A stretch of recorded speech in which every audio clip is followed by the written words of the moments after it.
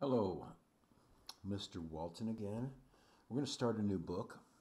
It's called I Am Malala. It's about a young girl who um, fought for the right of education for females.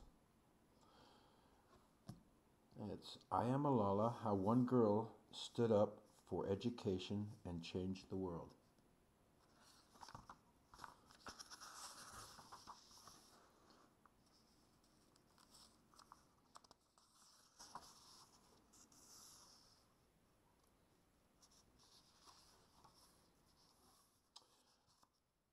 Those children all over the world who have no access to education, to those teachers who bravely continue teaching, and to anyone who has fought for their basic human rights and education.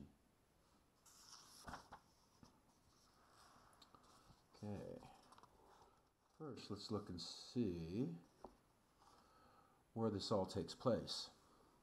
Now, over in the Middle East, and in between Asia, I mean, India and Afghanistan, and bordered with Iran, China, and Kashmir. Oh, Kashmir, that's interesting. India and Pakistan have been feeding about that, and she's where she's from is very close to Kashmir. If you'll see that. Okay.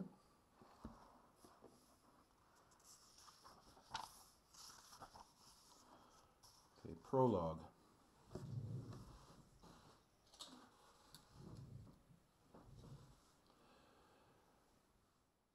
When I close my eyes, I can see my bedroom. The bed is unmade, my fluffy blanket in a heap, because I've rushed out, of, out for school, late for an exam. My school schedule is open on my desk to a page dated 9 October 2012.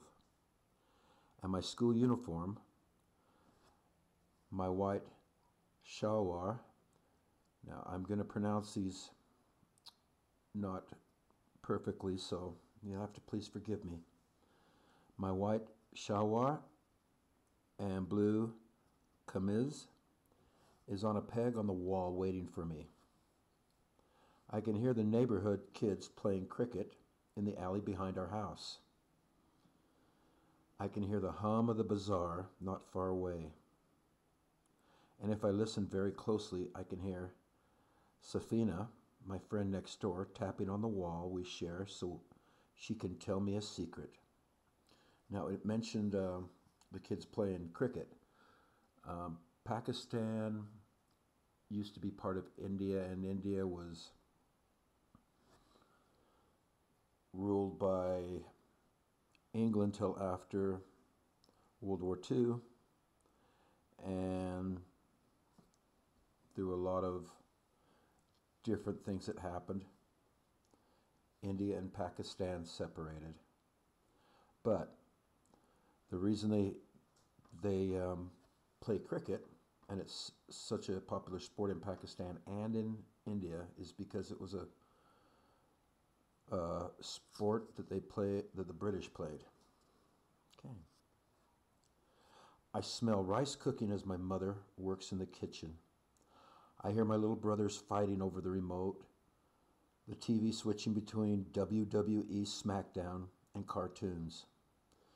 Soon, I'll hear my father's deep voice as he calls out my nickname.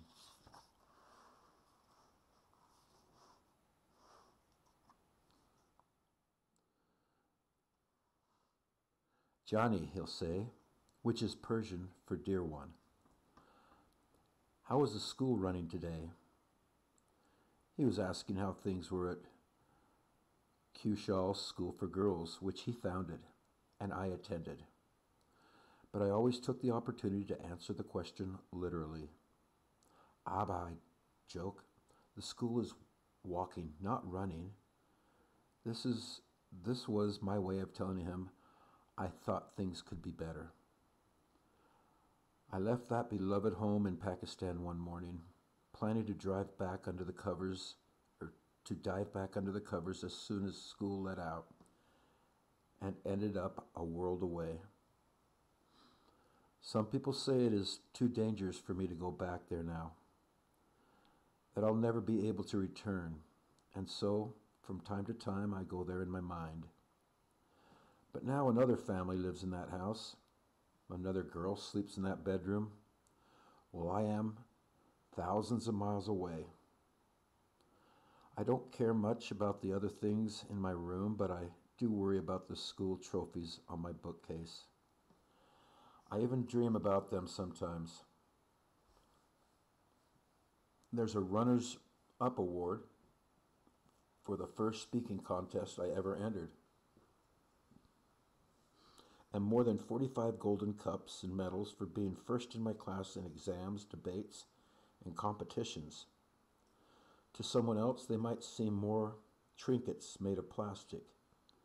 To someone else, they may simply look like prizes for good grades.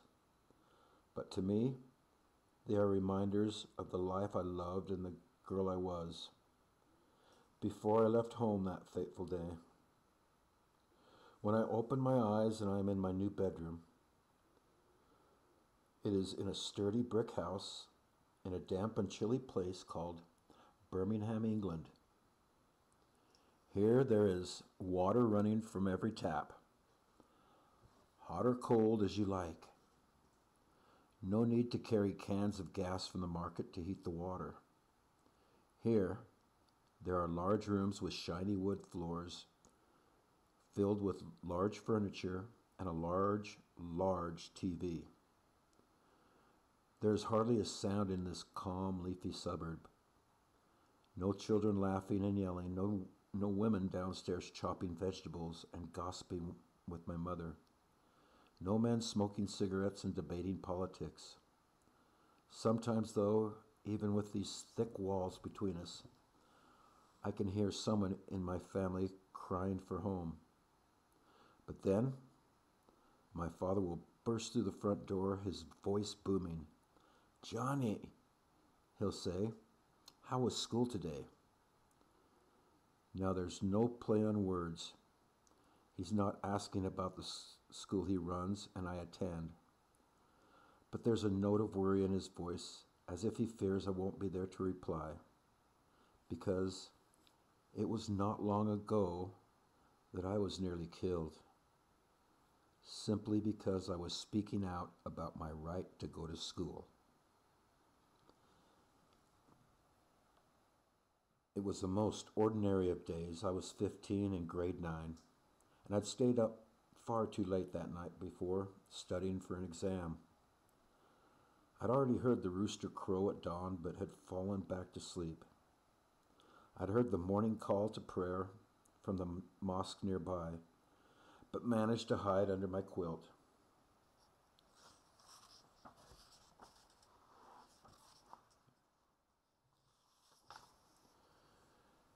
And prepare and pretend not to hear my father come to wake me. Then my mother came and gently shook my shoulder. Wake up, Pisho, she said, calling me kitten in Pashto, the language of the Pashtun, the Pashtun people. It's 7:30 and you're late for school. I had an exam on Pakistani studies, so I said a quick prayer to God if it is your will, may I please come in first, I whispered. Oh, and thank you for all my success so far. I gulped down a bit of fried egg and chapati with my tea. My youngest brother, Atal, was in an especially cheeky mood that morning. He was complaining about all the attention I'd received for speaking out about girls getting the same education as boys. And my father teased him a little at the breakfast table. When Malala is prime minister someday, You can be your secretary, he said. Atal, the little clown in the family, pretended to be cross. No, he cried. She will be my secretary. All this banter nearly made me late, and I raced out the door, my half eaten breakfast still on the table. I ran down, ran down the lane just in time to see the school bus crammed with other girls on their way to school. I jumped in that Tuesday morning and never looked back at my home. The ride to school was quick, just five minutes up the road and along the river. I arrived on time and exam day passed, as it always did. The chaos of Mingora City surrounded us with its honking horns and factory noises while we worked silently, bent over our papers in hushed concentration. By day's end, I was tired but happy. I knew I'd done well on my test. Let's stay on for the second trip, said Moniba, my best friend. That way we can chat a little longer. We always like to stay on for the late pickup. For days, I had a strange gnawing feeling that something bad was going to happen. One night I found myself wondering about death. What is being dead really like? I wanted to know. I was alone in my room, so I turned toward Mecca and asked God, What happens when you die? I said. How would it feel? If I died, I wanted to be able to tell people what it felt like. Malala, you silly girl, I said to myself then. You'd be dead and you couldn't tell people what it was like.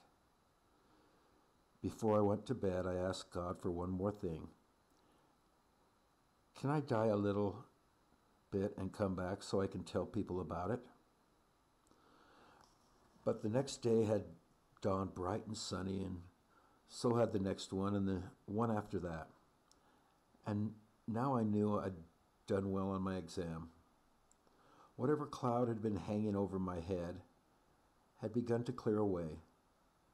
So Moniba and I did what we always did. We had a good gossip. What face cream was she using? Had one of the male teachers gone for a baldness cure?